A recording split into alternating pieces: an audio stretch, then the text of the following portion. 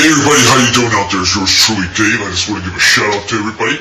Uh, I, I just want to say that the Capitol Hill, the U.S. Capitol Hill was under siege on uh, January 6th, 2021. Can you believe that?